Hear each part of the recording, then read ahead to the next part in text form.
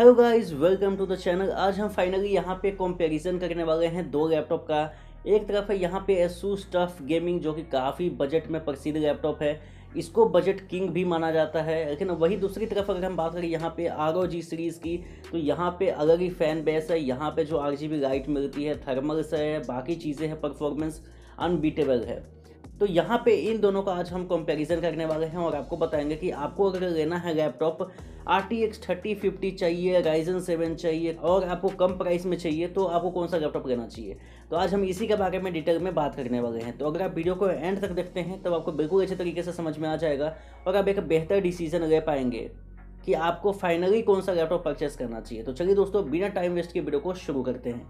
सबसे पहले हम दोस्तों बात करते हैं यहाँ पे बिल्ड क्वालिटी से। तो दोनों ही लैपटॉप की जो बिल्ड क्वालिटी है, वो हार्ड प्लास्टिक से बनी हुई है।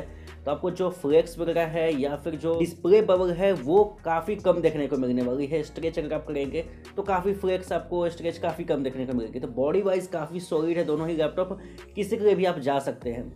नेक्स्ट बात करते हैं हम डिज़ाइन की। तो डिज़ाइन अलग अलग प्रेफरेंस हो सकती है। टफ थोड़ा सा थोड़ा सा ओल्ड टाइप डिज़ाइन लगता है, लेकिन जो ROG सीरीज़ है, वो हालाँकि काफ़ी सालों से चलती आ रही है सेमी डिज़ाइन है, लेकिन जो अभी भी इसकी फ़ैन बेस है वो कम नहीं हुई है। अभी भी जो ये लैपटॉप है, वो काफ़ी ज़्यादा चर्चे में रहता है। डिज़ाइन वाइज आपकी प्रेफरेंस हो सकती है कि आपको कौन सा डिज़ाइन ज़्यादा पसंद आता है। मुझे तो दोनों ही पसंद आते हैं।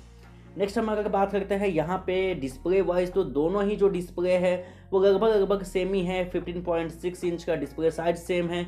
144 घट का रिफ्रेश रेट है। लेकिन यहाँ पे एक चीज़ की दोस्तों दिक्कत है जो कि मैं आपको बाद में बताऊँगा। यहाँ पे डिस्प्ले की साइज़ सेम है। कलर एक्यूरेसी की अगर हम बात करें तो दोनों ही कलर एक्यूरेट नहीं है डिस्प्ले। 45 परसेंट एन मिलता है।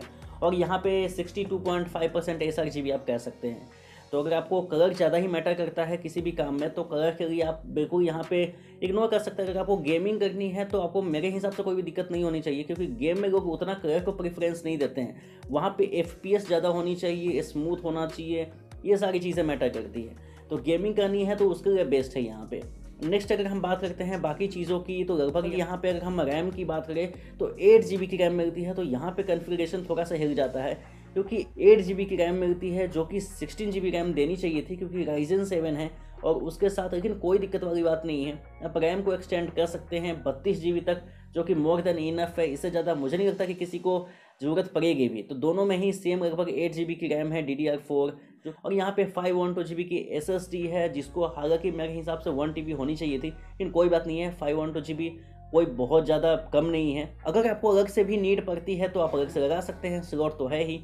नेक्स्ट अगर हम बात करते हैं यहाँ पे यहाँ पे परफॉर्मेंस की तो यहाँ पे मिलता है आपको राइजन सेवन दोस्तों, अब हम बात करें यहाँ पे राइजन सेवन की तो राइजन सेवन इस प्राइस रेंज में आपको कोई भी ब्रांड प्रोवाइड नहीं करा रही है R T X thirty fifty के साथ, क्योंकि राइजन सेवन जो है वो बहुत ही ज़्यादा पावरफुल प्रोसेसर है और ऐसा भी नहीं है कि बहुत ज़्यादा पुराना है। फोर थाउज़ेंड सीरीज़ का है four forty eight hundred H जो कि आपको फिफ्टी सिक्स हंड्रेड एच से भी ज़्यादा अच्छा है।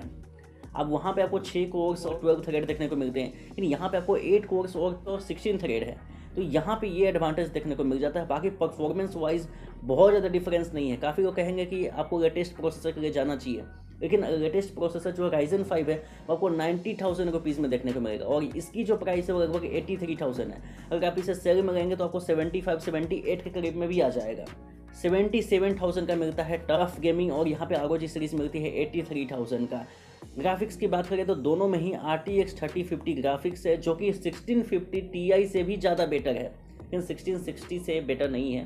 सिक्सटीन सिक्सटी टी आई से। वहाँ पर थोड़ा सा पीछे हो जाता है। लेकिन अगर हम बात करें यहाँ पे रेट रेसिंग की या फिर D L S S technology की, जो कि इनविडिया की तरफ़ से आई है जो कि यहाँ पे ए की तरफ़ से आता है और इन्विडिया की तरफ़ से भी आई है। यहाँ पे एफ़ एस आर टेक्नोलॉजी तो इन सारी चीज़ों को भी ये सपोर्ट करता है। तो गेम वाइज आपको दोनों में ही कोई भी दिक्कत नहीं होने वाली है। अगर हम यहाँ पे बात करें कि R T X thirty fifty जो है, वो यहाँ पे टफ गेमिंग में मिलता है। सिर्फ़ और सिर्फ़ सेवेंटी फाइव वॉट का टी जी पी जो कि उसके थर्मल्स के हिसाब से काफ़ी सही है। 95 डिग्री से ओवर टेम्परेचर नहीं जाता है।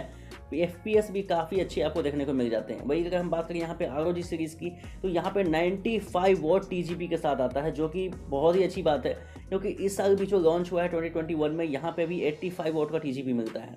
R T X thirty fifty की भी बात कर रहा हूँ। लेकिन यहाँ पे राइजन सेवन और R T X thirty fifty ninety five T के साथ मुझे नहीं लगता है कि इससे बेटर लैपटॉप आपको इस प्राइस रेंज में मिलेगा। फोर जो आर जी बी कीबोर्ड मिलती है आपको यहाँ पे।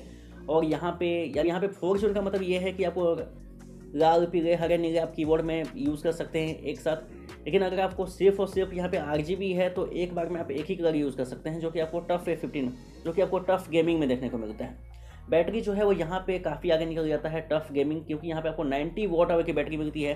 180 वॉट का ए सी में देखने को मिलता है यहाँ पे। लेकिन लेकिन आर की बात करें तो यहाँ पे आपको मिलता है यहाँ पे आपको काफ़ी कम बैटरी देखने को मिलती है 56 वाट आवर की और 200 वाट का यहाँ पे एडेप्टर है।